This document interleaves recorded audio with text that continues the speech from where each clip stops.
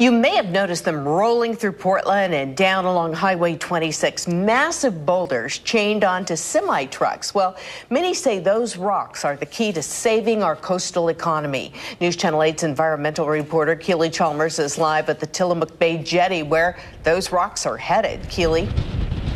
Yeah, Tracy, already about 640 ton boulders have been stockpiled here at the base of the jetty, and more are coming in every day carried one by one on semis traveling some 350 miles from quarries in Washington.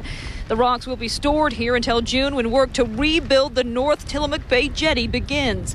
About 350 feet of the jetty has deteriorated, making the channel in and out of Garibaldi's harbor treacherous at times. Since 1992, 20 people have died near the Tillamook Bar.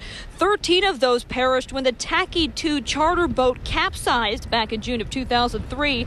Fishermen say this jetty repair is vital for their safety and for the coastal economy the jetty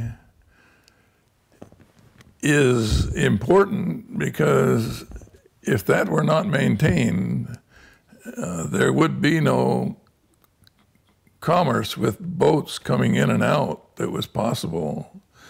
Uh, the skippers didn't like to come over that bar, but with the uh, the and there never has been a bar built along the coast that I know of that didn't get worked over by the ocean and needed repair. Repair, and it wasn't something you could just build and it was there for good. The bar is is is, is still not a good bar.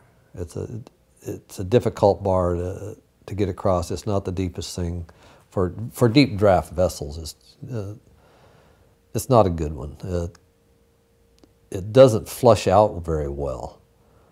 In other words, it doesn't get deep. You, you have a, a, hump in it right out at the jetties, at the tip of the jetties, uh, and beyond the jetties. And every time I look at it, you, I, it seems like that the uh, entrance has moved from the south to the north. There's a little hole through at the north. There's you never know where you're going. to, It doesn't appear to me that you're ever going to know for certain where where the channel the deep water is going to be.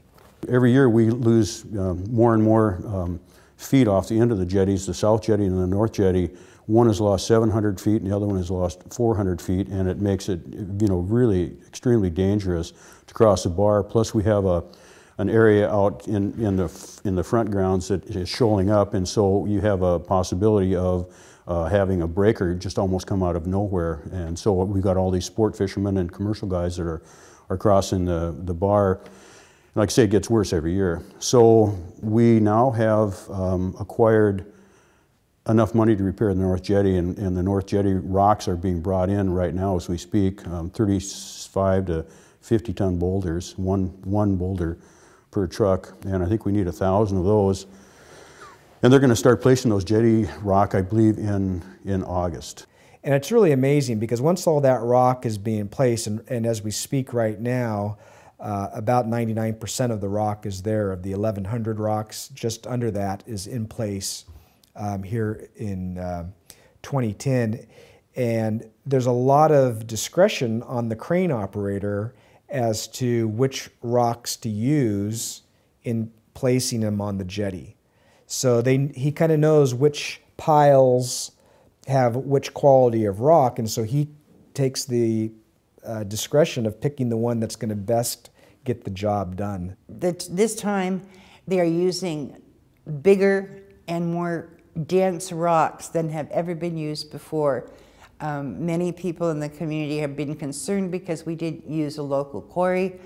Local quarries have been used in the past, but the Corps has determined that the rock in order to withstand the, the weather and the pressures we have here in Garibaldi, needed to be much denser than previously. So they don't get much denser than the ones that we've got.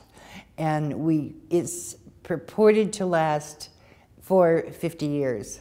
So uh, I believe if they, the North Jetty, the work they're doing now, it ought to be there for another 30, 40, 50 years. Um, but there again, it's uh, if the ocean, if the ocean goes up, uh, raises two or three feet, uh, it's going to overwhelm the jetty. You know, the water level. So who knows what's going to happen? the port of Garibaldi has been the epicenter to an Oregon story like few others. One might ask then, how could the port of Garibaldi's next 100 years be any more challenging and intricate as the last 100 years? Although any local would speculate, how couldn't it? Let's bow our heads together. Father in heaven, we come to you. We realize that this is much more than just a pole that stands in the air, but it holds those things that mean a lot to us. The freedom that we enjoy in this land, the privilege of the free enterprise system where men can start and run a business and be successful, can have enterprise and benefit a community. We're thankful for their memory. We're thankful for all of these things, and we ask your blessings we may continue to live in this peace and freedom that we enjoy in this land. In Jesus' name, amen.